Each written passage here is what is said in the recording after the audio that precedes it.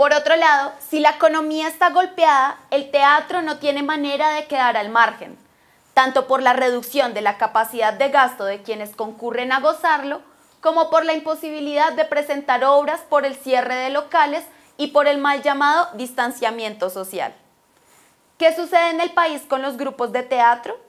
El actor y director del teatro César Vadillo nos cuenta en La Vacuna.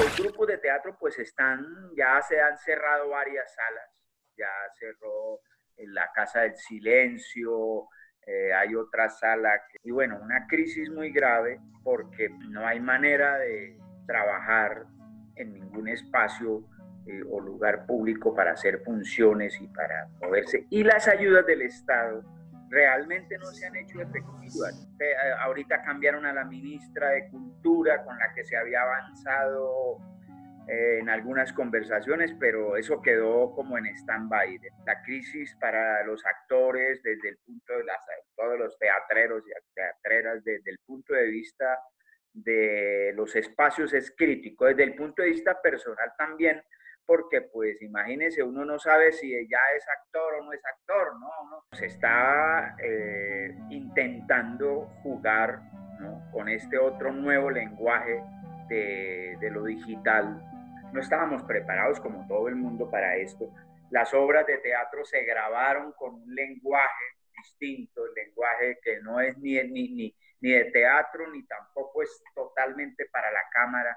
Entonces, bueno, se están pasando Se están moviendo, no, no ha dejado de moverse eh, todos los grupos de teatro, casi todos han tenido una que otra grabación un poco precaria, tratando de, de entender ¿no? qué conceptos, qué cosas, qué, qué ideas va a mover ahora el teatro. Y ojalá que cambie para bien, ¿no? Es decir, se puedan mirar unas nuevas maneras de hacer el teatro, nuevas maneras de ver el teatro y de llegarle al público. Pues todo el mundo andamos en eso, algunos escribiendo, algunos eh, activistas también en las, en, eh, las conversaciones con el Estado. El, está el FESTA, pues que es el festival que se hizo totalmente digital, con un esfuerzo muy grande y con, bueno, con algo de ayuda del Estado y ahí está funcionando, ¿no? Hay 93 grupos de teatro, entre esos 80 colombianos, desde la costa atlántica hasta donde fuimos a abarcar eh, cerca al Amazonas, y lo mismo al oriente y al occidente. Entonces, como para no dejar morir la idea, pues se hace, ¿no? Eso es como acostumbrarse a ir, a ir uno a la selva por internet. Es otra experiencia y yo creo que el público pues está mm, sintiendo otra, otra relación, otro conviven otra convivencia con este medio. Pues hay lo que le decía, hay 93 grupos de teatro de, de muchas partes, 80 de Colombia, de todas las partes, de muchas partes de Colombia. Hay también del Japón, de Brasil, de Holanda, de Suecia, grupos que conocen ya el festival alternativo y se conectaron a través de, festival y están presentando sus obras. Eh, personalmente la Candelaria participó con una obra que se llama Si el río hablara, que yo tuve el honor de dirigir, tuvo muy buena acogida. Está todavía funcionando. Las obras duran 24 horas y es muy fácil acceder, ¿no? Poner Festa, Corporación Colombiana de Teatro, ahí sale la programación y la obra que uno quiere no es sino picarla con, con la manita, la manita digital, y ahí entra a la obra y la puede ver. Señora, señora, mi niña tiene 16 años, está terminando el bachillerato. Señora, señora. Si ve, nadie dice nada. Ha sido una, un, eh, llamémoslo así, un éxito, ¿no?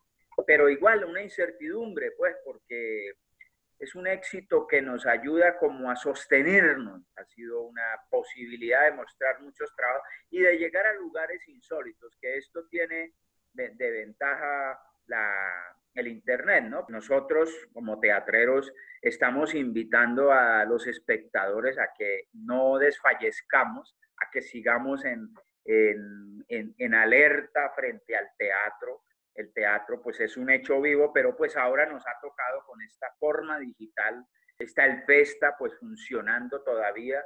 Y bueno, muy pronto yo creo que hay que ver cómo inventamos unos protocolos de bioseguridad para poder abrir la sala, ¿no? Eso se está, se está conversando, se está hablando.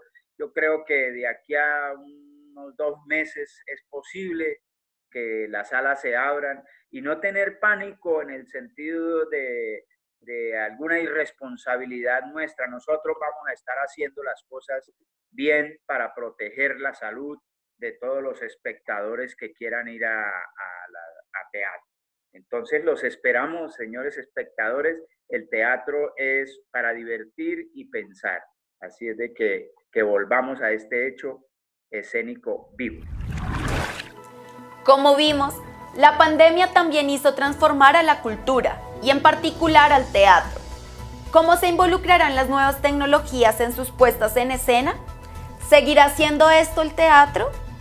Tienen ustedes la última palabra y podrán apreciar estas transformaciones en lo que propone el Festival de Teatro Alternativo en su versión del 2020.